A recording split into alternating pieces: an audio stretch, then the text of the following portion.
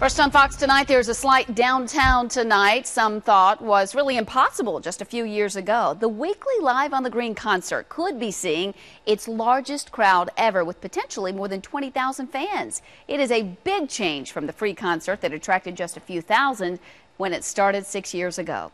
The atmosphere is amazing. It's one hour before the show. Already, fans like Rachel Brown are here. When we were here last time, it was like 20,000 people. It made a record. And I thought, oh my lord, for Friday night, it's going to be chaos. This picture from last week shows what she's talking about.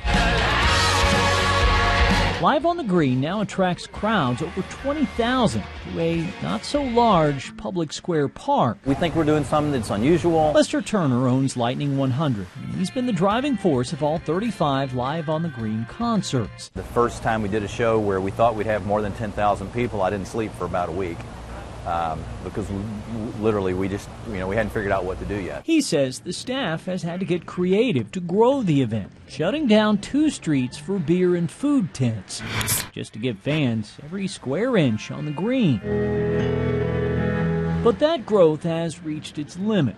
Even Turner can't envision putting more than 20,000 fans here. That's a guiding rule for who he books to play. Jack White, the Black Keys, we would love to do those shows. Uh, but it wouldn't be practical to do that as a free show in the park. In other words, Live on the Green may grow to host more Friday and Saturday shows. I came in early so I could get some parking and a nice spot. There's a limit to how many fans can join Rachel Brown on the green. Everybody likes a lawn party, and so bring your chairs. It's come to, fun to come out.